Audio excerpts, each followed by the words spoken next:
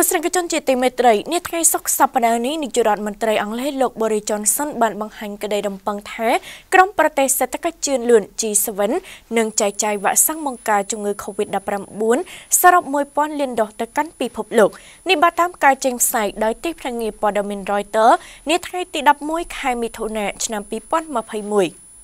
នាយករដ្ឋមន្ត្រីអង់គ្លេសលោក Boris Johnson រំពឹងថាក្រុមប្រទេសសេដ្ឋកិច្ចជឿនលឿន G7 នឹងព្រមព្រៀងគ្នាបរិច្ចាគវ៉ាក់សាំង COVID-19 សរុប1000លានដូសទៅកាន់ប្រទេសអន់ខ្សោយកំឡុងកិច្ចប្រជុំកម្ពុជា G7 ដែលចាប់ផ្ដើមនៅថ្ងៃសុក្រសប្តាហ៍នេះហើយជួយពន្លឿនកិច្ចប្រឹងប្រែងចាក់វ៉ាក់សាំងបង្ការជំងឺ COVID-19 នៅលើពិភពលោកនេះបើតាមការចេញផ្សាយដោយទីភ្នាក់ងារព័ត៌មាន Reuters នៅថ្ងៃសុក្រទី11ខែមិថុនាឆ្នាំ2021 កំឡុងកិច្ចប្រជុំកម្ពុជារយៈពេល3ថ្ងៃដែលចាប់ផ្ដើមនៅថ្ងៃសុក្រសប្តាហ៍នេះនៅ Resort Cabis Bay ក្នុងតំបន់ Cornwall ភាគនិរតីប្រទេសអង់គ្លេសក្រុមប្រទេស G7 ត្រូវគេរំពឹងថានឹងប្រកាសអំពីការសន្យាផ្ដល់វ៉ាក់សាំងសរុបចូលគ្នាចំនួន1000លានដូសទៅកាន់ប្រទេសនានាដែលត្រូវការជាចាំបាច់លោក Johnson ក៏បានអំពាវនាវផងដែរឲ្យបណ្ដាមេដឹកនាំក្រុមប្រទេស G7 រួមបដិញ្ញាគ្នាជួយពន្លឿនកិច្ចខំប្រឹងប្រែងចាក់វ៉ាក់សាំងបង្ការ COVID-19 នៅលើពិភពលោក ក្រោយពេលមកដល់ចក្រភពអង់គ្លេសកាលពីថ្ងៃពុធសប្តាហ៍នេះប្រធានាធិបតីអាមេរិកលោកโจ Biden បានបដិញ្ញាផ្ដល់ធម៌ពលចំពោះសមរភូមិប្រយុទ្ធប្រឆាំងជំងឺ Covid-19 នៅលើពិភពលោក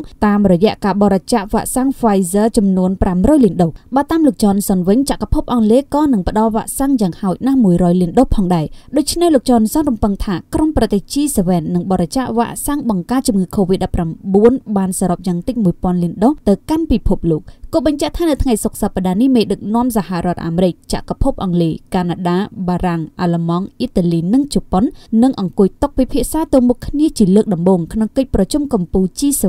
ក្នុងរយៈពេល72ឆ្នាំក្រោយកិច្ចប្រជុំកម្ពុជាឆ្នាំមុនត្រូវខកខានដោយសារតែ COVID-19